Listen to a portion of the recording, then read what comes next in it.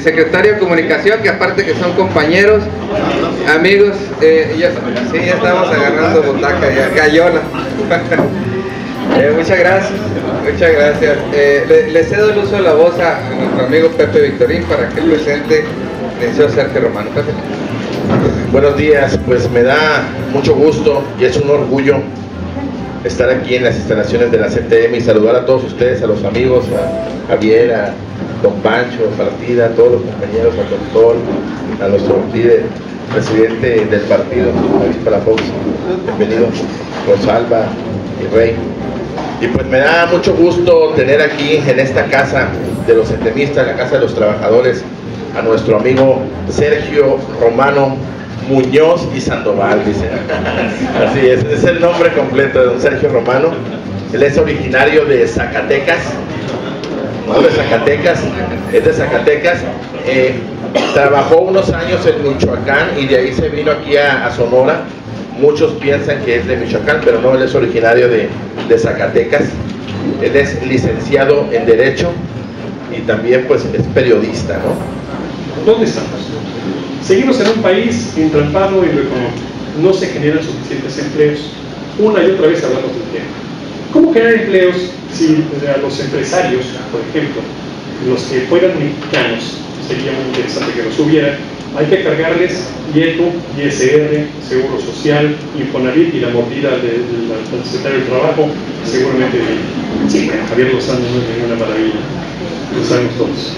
Este, mordida y luego mordida de Hacienda, los trámites, la burocracia. Entonces de pronto dicen, no, yo mejor invierto mi dinero, mejor voy a especular en la bolsa. Y estamos metidos en ese juego. La especulación en la bolsa, la especulación en el banco, el dinero en los, en los lo que llamaba mi padre los ahorros de la viuda, ¿no? meter el dinero a jugar a lo seguro sin arriesgarlo en empresas. Y lo que nos llega son empresas extranjeras, decíamos, hablábamos de los minos de oro, entregadas por completo a nuestro capital extranjero, norteamericano y canadiense, y están sacando el oro de México. Y viene Walmart, y viene la Ford, y vienen todas ellas con condiciones eh, privilegiadas de tipo eh, en, materia de impuestos, en materia impositiva, y con extraordinarias facilidades y siempre un poco al servicio de ellos, siempre un poco al servicio de ellos. El liderazgo obrero hay que retomarlo. Decía Vicente Solís, en el fondo del PRI está el pensamiento obrero, sí, también el campesino. Nos hemos perdido por completo esa posibilidad enorme de pensamiento y campesino. El PRI es un partido de obreros, el PRI es un partido de trabajadores, no es un partido de políticos, no es el partido, que me perdone el señor Palafox, pero bueno, no es el partido de Humberto Moreira, afortunadamente. Porque, ah, cuidado, cuidado. Si el PRI, me hago paréntesis, me paréntesis. Moreira tiene la impresión de que lo mejor que puede pasar al PRI es que Ernesto Cordero sea el candidato del PAN, aunque le gane el fácil. Pero el PAN está convencido que lo mejor que puede pasar al PAN es que Moreira sigue siendo presidente del PRI porque va a meter la pata para entrar. Ese es el gran problema.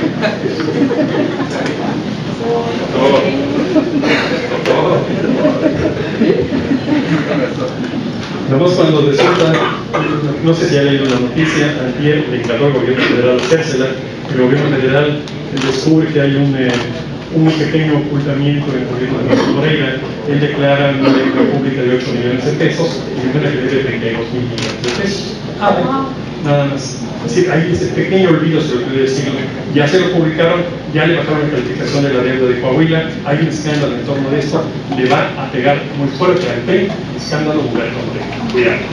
Porque él quiso ser presidente del partido para cubrirse, cubrir a Enrique Peña Nieto, sin pensar primero el partido y primero realmente en cuál es el propósito del PRI. ¿Cuál es el propósito del PRI? ¿A dónde tiene que ir el PRI en este momento?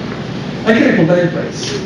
Ese país que empezó, lo repito, con los indios haciendo la conquista y con los españoles haciendo la independencia, con, con Francisco de Boca Unión y no sé el dinero del préstamo México, ese México que tenemos que dejar atrás. Ha habido alternancia, pero ha habido transición. ¿A qué me refiero? En el 2000 Cedillo permite que Vicente Fox llegue a gobernar. O Marta Segundo, que es, yo creo que Marta Segundo que gobernó Sí, porque vos. ¿Verdad? Bastante mejor ella que vos, sinceramente. Pero este. A partir de ese momento, a partir de ese momento, tiene que haber una transición. Un cambio profundo en las estructuras del país, una reforma profunda de tipo constitucional, quizás una nueva constitución, entrarle, por ejemplo, en una vicepresidencia, como dice el senador Mario Fabio Beltrones, nuestro amigo, eh, quizás entrar en un régimen semiparlamentario en el cual el que gobierne no sea el presidente de la República, es una figura representativa, como el rey de España o algo así, por ahí. De hecho, hay muchos países así, con presidentes que nadie conoce. De hecho, en Italia hay un presidente el señor Berlusconi, igual eh, en, Alemania hay un presidente, Angela Merkel, que gobierna. Es decir, ese tipo de cosas. Entonces, que haya realmente un jefe de, jefe de Estado, o sea, el presidente, y un jefe de gobierno. Claro que en este caso me propone ser Francisco Rojas el jefe de gobierno, ¿no? el libro de la mayoría en la Cámara de Diputados. Pero por lo menos había credibilidad y sabía realmente sentido común en el gobierno. Primera idea. Segunda, replantearnos por completo las relaciones laborales sí una nueva ley laboral, pero no la ley Lozano. Cuidado con eso. Si lo permiten, líder, ya nos llegó, ¿eh? Ya nos llegó. Ya nos llegó porque traemos un régimen en el cual todo está bajo de los ¿Qué van a hacer ustedes? ¿Qué ven líderes? Ustedes de jóvenes líderes. Aquel líder de allá, Luis, mi amigo, me atendió cuando estaba yo hospitalizado y es un excelente ser humano. ¿eh? ¿También? Eh.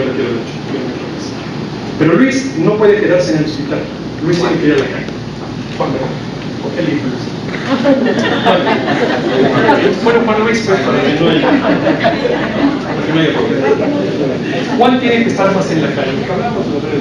Esa idea. Es decir, no pueden quedarse ahí. Porque es cierto, son obreros en la fábrica, sus compañeros los trabajadores en la radio. Pero afuera somos otra vez ciudadanos. Tenemos el problema del transporte público, tenemos el problema de la inseguridad, tenemos el problema de un presidente que está haciendo su beneficio personal a ciencia y conciencia de todos los sonorenses y hermosillenses y no hacemos nada para pararlo. Si no puede seguir haciendo obras para beneficiar sus empresas, no puede ser. Está haciendo. O la fuente del ego que acaba de terminar. No, fuente del ego. la del ego. La del talego. ¿Vale? La del talego es la, esa la trae su hijo. Y bien, bien, ¿no? Cuidado, pero cuidado, bien. El liderazgo tiene que salir a la calle. Tienen que aprender a hablar en público. No se dan cuenta de una cosa que es muy complicada. Hasta este momento, hasta que nuestro amigo, no, bueno, no, que el amigo de ustedes, Eduardo Burmia, ¿qué le pasa? Sí. Yo también. Yo también. Vemos varios que también, ¿verdad? Sí, yo me acuerdo, un día estábamos Macho y yo sentados en una mesa y nos dio la vuelta, ¿te acuerdas? Nos saludaron aquí y aquí. Una buena vez. Sí, le dije, oye, fue contigo, no fue contigo, ah, bueno, fue con los dos. bueno, Eduardo, Eduardo se equivocó. Alguna vez me lo comentó a mí en un viaje, me invitaba a giras cuando yo trabajaba todavía en Telemax. Eh, no, me estaba en Telemax, me aquí el del este. Y, y, me dijo, vamos a ganar las elecciones en 2006. ¿Qué estás tan seguro? Pues porque, no, 2008, no, 2008. La vamos a ganar porque trae una enorme cámara, trae una enorme prestigio. Oye, pero si no tienes un candidato, Eduardo, no ganas porque tú no logras ponerle tu saldo a un candidato. Ah, me canso que sí vas a ver. Trajo a Alfonso. Alfonso, a que yo quiero mucho, que es un gran señor, Alfonso Elías Hernández es un pésimo candidato. Decir, perdió, perdió el hombre, no perdió el partido. Perdió un hombre frente a un candidato no muy bueno, pero tampoco muy malo del PAN, como es el de los padres. Tiene carisma, es agradable, habla bien, hasta ahí. Nada más. Nunca esperaron lo que, lo que pasó. Hubo factores, y van a repetirse, hablaban hace un momento del transporte urbano. El transporte, esos, esos fracasos del transporte del Suba, de Eduardo, costaron votos. La división, ojo, la división entre Ricardo Burs y su hermano Eduardo y Ricardo Mazón y su compadre Eduardo los partió en el sur, por eso se pierde el sur. No se pierde el Hermosillo, curiosamente. Esas son las derrotas del partido. Primera, falta de liderazgos, permitir que un, solo gobernador se convierta en un dictador absoluto como él, imponer su voluntad por encima de la voluntad del partido y después no permitir operar. Yo no sé quiénes de ustedes operaron el día de las elecciones en aquel julio, pero saben que la gente del AM es la que andaba moviendo a la gente, no el partido, no el magisterio, no los líderes obreros. Ese fue el fracaso. Ahí se perdió la elección. Pero bueno, entonces tienen un problema ustedes. Ahora son partido de oposición. David Palafox lo enfrenta un poco como Moreira, tampoco me gusta mucho el estilo Palafox, es sencillo, se lo he Sí, yo quiero que propongan, no que ataquen. Atacar es muy sencillo. Para eso está, está Gerardo Ceja, ¿no? Digo, déjenlo ahí. Pero, pero necesitamos ser más propositivos. ¿Qué va a proponer el partido, la CTM de Primero, ¿cómo lograr que cada una de esas redes vecinales se convierta en un foco de crecimiento? ¿Cómo hacemos realmente que la vida sea mejor para cada uno de nosotros? Ese es el trabajo de los líderes. Ese es el trabajo de los líderes. Porque si no, viene el proceso electoral ya el año que entra, 2012 está encima, y hay un problema. Déjenme ser muy honesto una vez más. Soy muy amigo, quiero mucho a Claudia Pavlovich. Parece una mujer excelente, me parece una magnífica notable, una madre muy buena, una esposa.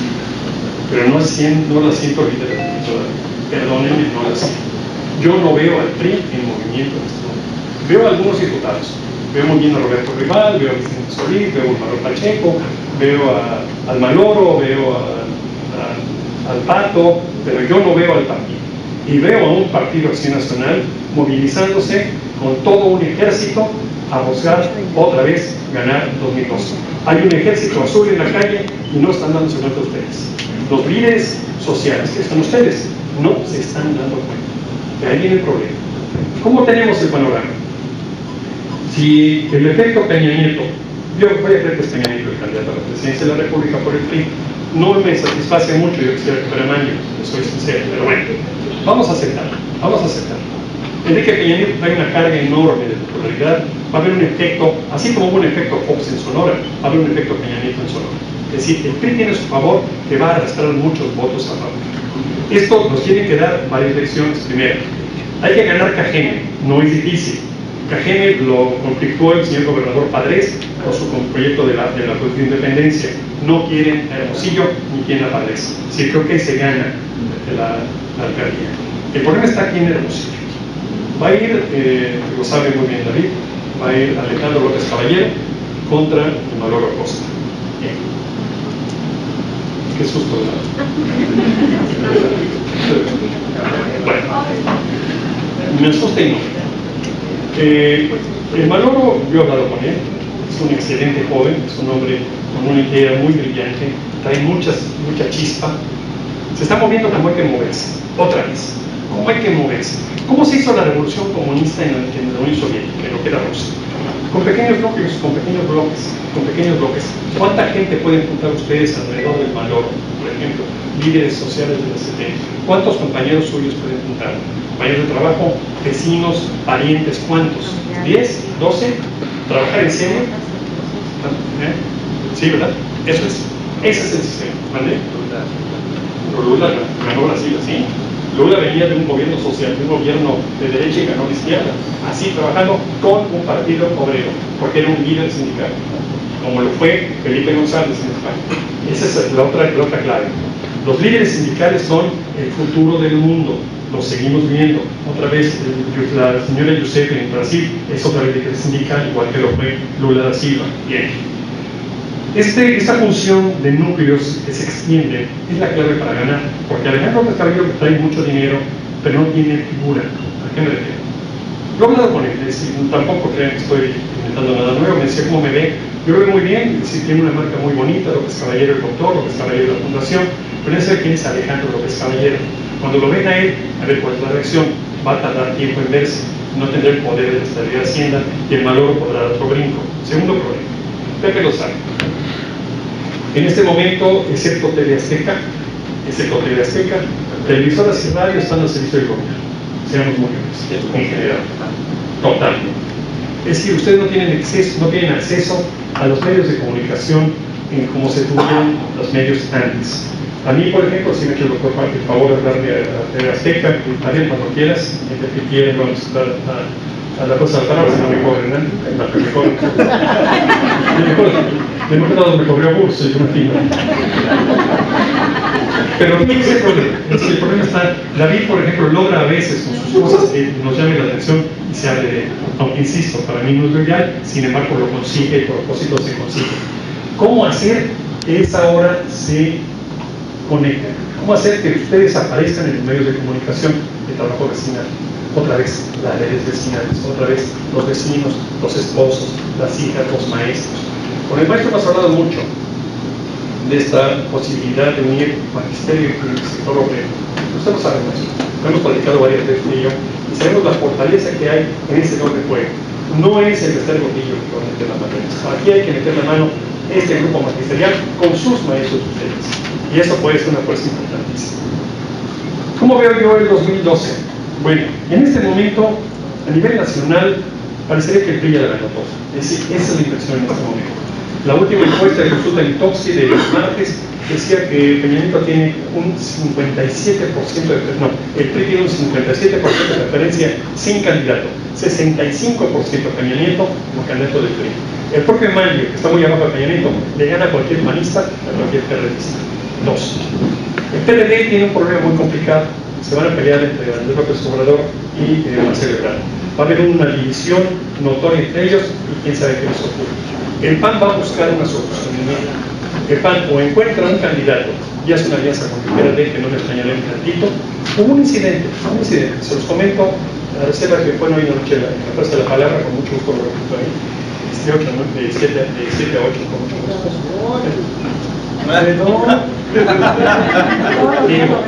¿Eh? Este, lo voy a repetir ahí. Hoy hubo un incidente muy curioso.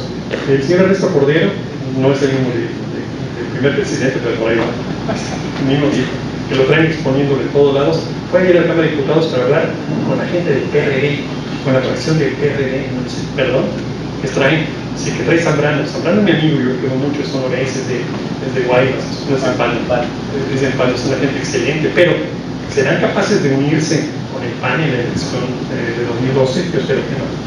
Eh, todo parece indicar que el PRI regresa a los pinos. ¿Con qué? Yo no confío mucho en el Peña Perdónenme una vez más, es decir, yo sé que sería muy fácil decir, uy, que voy a presentar.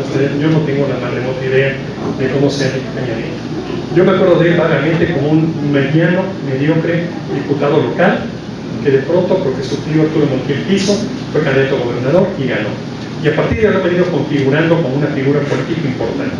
No digo que esté mal, no digo que esté mal vale la pena formar figuras políticas, o fueron formando primero el aspecto, el vestuario, la actitud, el peinado. Yo sé, eh, yo me acuerdo mucho en, en, una, en una ocasión, este, me cuentan, yo no sé, este, aquí fue Marcela Fernández cuando estaban en campaña, su marido, ¿cómo saben el presidente no, no, Marcela, no, Sí, el amigo de los ambulantes. Eh, bueno, este, que Marcela llegó a una maquiladora en plena campaña. ¿Qué le puedo dar? ¡Ay, no salpano! Le gritaron. Sí, es cierto, ¿no? Pero es un poco el caso de Peña Nieto. Peña Nieto se ve limpio, se ve bonito, la nación les agrada mucho. Sí, hasta aquí no hemos pasado etapa. Luego este, se murió la mujer de él misteriosamente y trajeron a gaviotita. ¡Uh! Esa es la razón, exactamente. Todo el mundo sabe quién es y saben del matrimonio de él con una actriz famosa que se llama Angélica Rivera, que está divorciada con tres hijos mayores. Él, es viudo, misteriosamente viudo. misteriosamente viudo. Perdón, perdón, perdón, compañera. ¿Cómo está eso? Una, una entrevista siniestra con un, un de Estados Unidos, no me acuerdo el nombre, ¿cómo se llama? Está en, está en YouTube, Jorge Ramos. Jorge Ramos.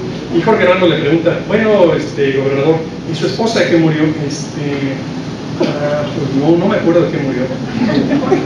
¿Perdón? No se acordó de qué murió. Está en YouTube, no. De repente se murió misteriosamente convenientemente y se casó con Gaviotito. Este es un modelo, un modelo interesante, es un modelo interesante, es decir, ya está la figura política, a la inversa de López Caballero, que tiene la marca, que tenemos al mundo, que no tenemos la marca. Si yo no sé qué quiere eh, el señor Enrique Peña Nieto, yo no tengo la más remota idea como sea como gobernador, no le veo. A ver, ¿a qué hora Neto? Bueno, son los míos,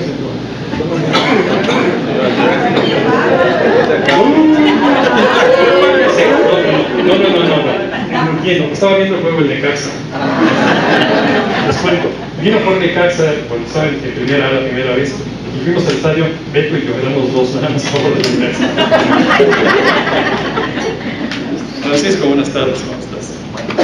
Bueno, decía, yo no le veo a Enrique Peña Nieto un, un, proyecto de país. Decía el diputado Vicente Solís, lo decía usted, doctor, alguien lo dijo. Como decía Beltrones, lo urgente es tener el proyecto del país. ¿Qué país queremos? ¿Dónde vamos a irnos a dar como país? Y ese es el gran problema. Decir, porque Enrique Peña Nieto lo que quiere es el poder. Yo detrás de él veo grupos empresariales muy fuertes, veo Televisa muy fuerte, eh, TV Azteca se está empezando a jugar con Marcelo Ebrard, se los digo claramente. Ebrard no es una mala opción. Como presidente de la República, yo, cualquiera de Mario o Ebrard no me, no me molestarían. El PAN yo no lo veo en ninguna parte.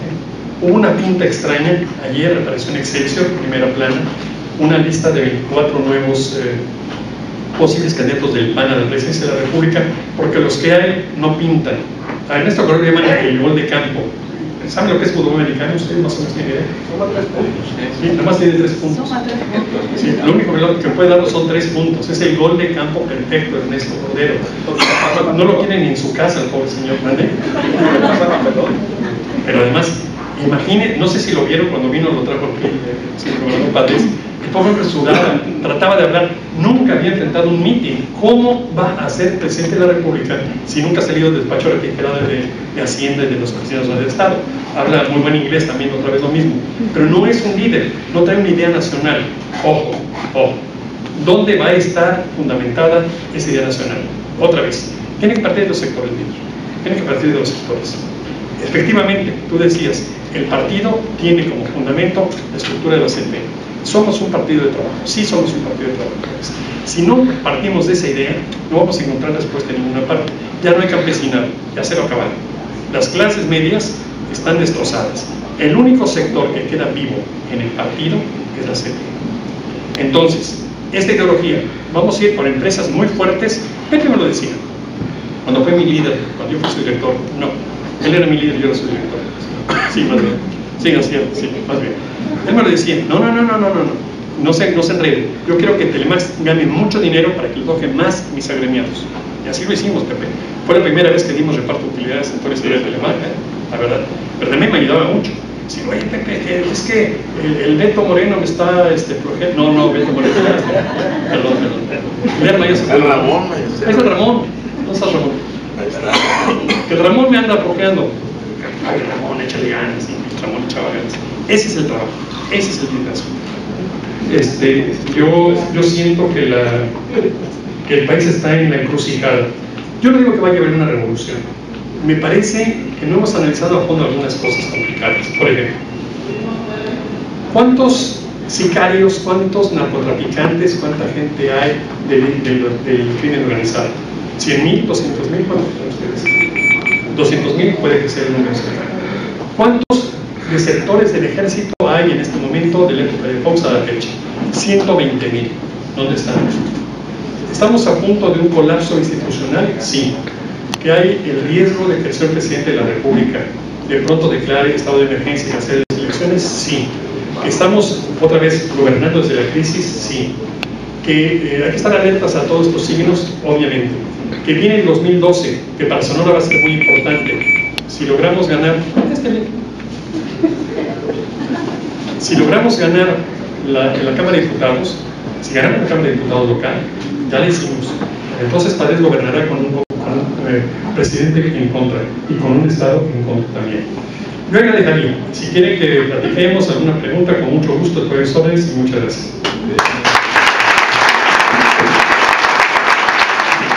Es impresionante. ¿eh? O sea, yo creo que difícilmente puede haber aquí uno que sepa más de, de Sonora que Sergio y, él no es de aquí.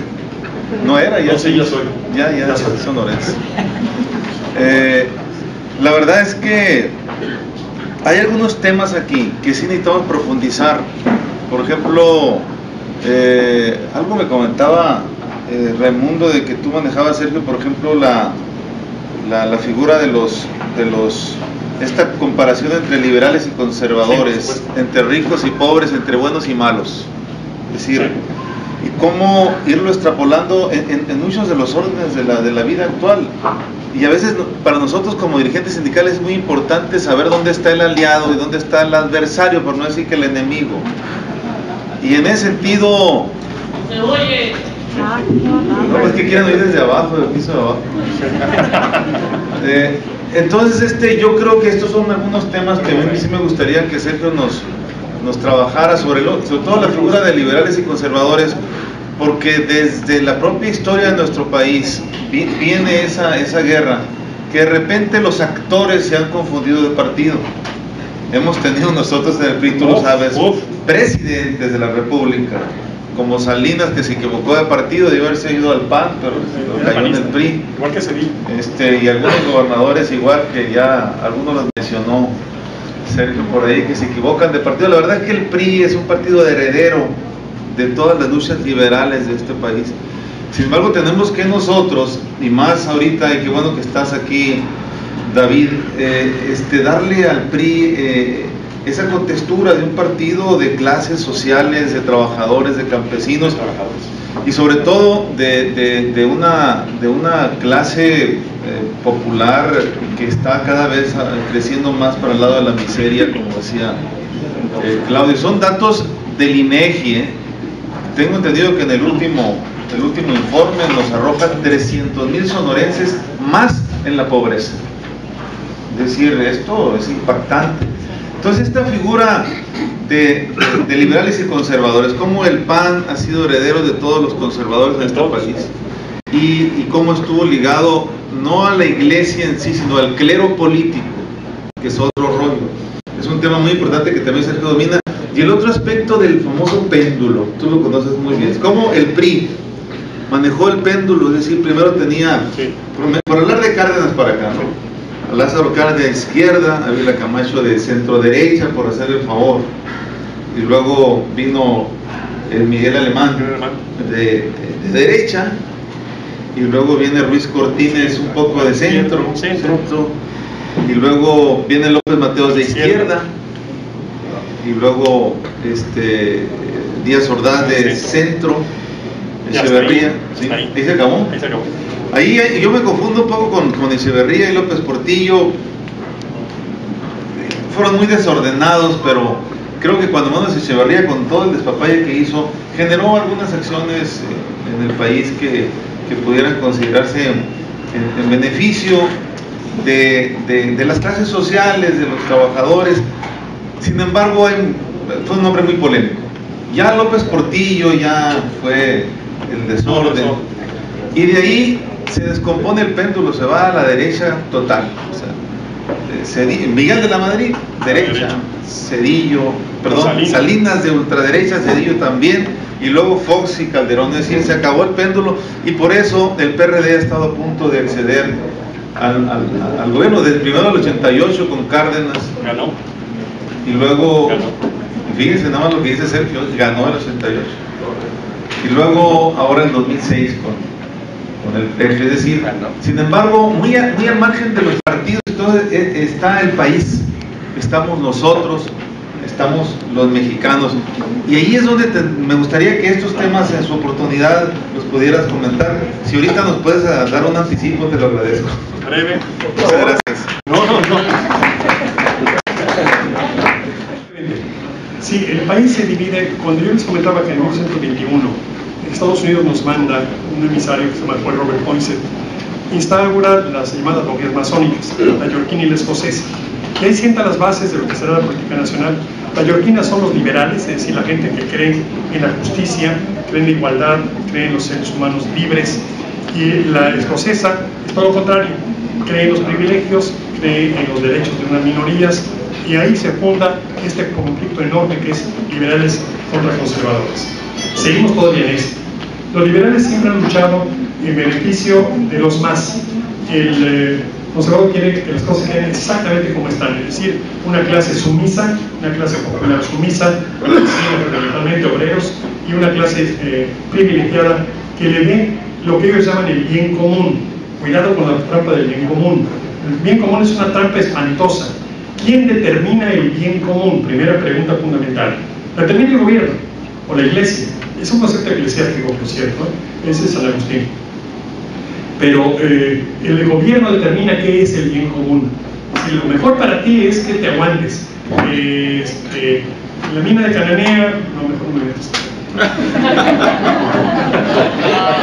No, ya me, así ya, ya me dio susto. Me dio miedo, no sé.